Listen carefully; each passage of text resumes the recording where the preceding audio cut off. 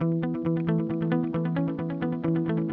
a normal Monday, um, I got my dog here, Lenny. Um, had him for three years now. Um, live in Balmain, so uh, I like to go up and um, go for a walk and get a coffee early in the morning and uh, go to Woolworths and get some stuff for brekkie. But today's a bit different. Um, final round of the Masters is on, so um, definitely tune into that. And um, yeah, Jordan Spieth shot eight under, I think, so it's a pretty exciting finish. And um, like playing my golf. Uh, a few other boys, uh, Tim Mohr, Adam Tomlinson, Jeremy Cameron, and that all love playing golf. So uh, I like to get out on the course whenever I can.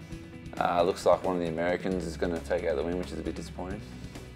Playing at Sydney, it's always a tough battle. Um, they're a great side and have been for so long, and uh, we've been going back and forth for seven years with wins and losses. So um, they got the wood on us on the weekend, and they played some really good footy, and um, definitely saw today. So um, yeah, we'll take out a lot of things that we'll learn, and we'll try to um, put them into put them into next time we play them, and hopefully we get the wood over next time. Yeah, we got a real good support um, from the Giants fans at the SCG. Um, obviously coming over the bridge from the west, and um, it definitely helps us over there and trying to match up the evenness um, against the Sydney Swans supporters. So um, yeah, we appreciate all our members, and it's good to good to see them come over and support us like they do. But yeah, he's an English staffy. Uh, he's got plenty of character. He's actually a really smart dog and um, yeah, just around obviously Balmain, there's heaps of dogs around here and um, I've always had dogs growing up, so whenever I was settled into a home, I was um, looking straight away to get a dog and um, yeah, he's, he's, a real good boy. Yeah, so this is Nutty Donuts. Um, fortunately for me, opened up about six to 12 months ago. Um, I'm gluten intolerant and this is a gluten-free gluten-free uh, donut shop, so um, you'll often find me here. Uh, you often see Brett Deledio drive past here, lives close by, and um, kind of give me some flack because he sees me here that much. But uh, this is my little treat that I come to probably once or twice a week, and um, yeah, it's a great, great donut shop if you um, can't eat gluten.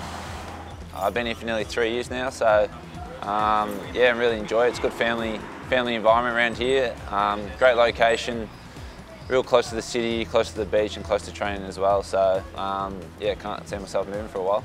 So I live with um, Adam Kennedy, my girlfriend Beck. Um, Adam, we've been living together. We were renting out in Rozelle before before he moved into my house. Um, so I've been living with him for five years now. Um, yeah, he's an interesting one. I don't want to give him too much too much slack, but I do all the cooking for him, all the cleaning. Um, he's a, he's a great housemate and um, it's been a real fun five years. And uh, I got my girlfriend Beck up here now with, um, she's been up here for two years. Um, we've been going out for nearly three. So um, yeah, having her up here is great. She's got, a, got her own life and job and um, she loves living in Sydney as well. Yeah, my Monday morning's pretty, pretty usual. Get up, coffee, go to the club, do some ice bars, but I do know a couple that have slightly unusual ones. You know, probably Kenners and Jezza.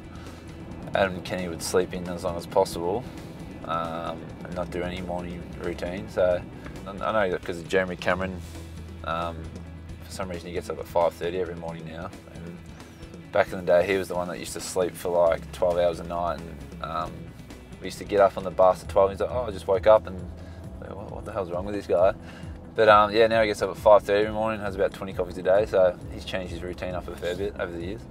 Yeah, obviously this weekend we got um, Fremantle in Canberra. Um, our second game there this year. Uh, we obviously love going down to Canberra.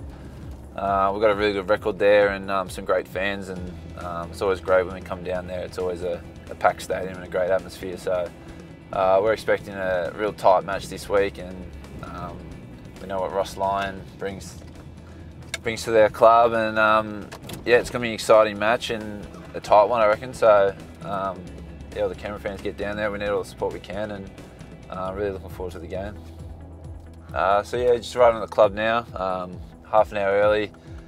Unfortunately, don't live in the east, so I can't go to the beach in the morning. So I'll come in and do some ice bars, um, and then we've got our individual reviews, our team review, um, get a bit of massage and treatment, and then we finish round two, and then hopefully um, straight to the beach after that for a bit of recovery as well.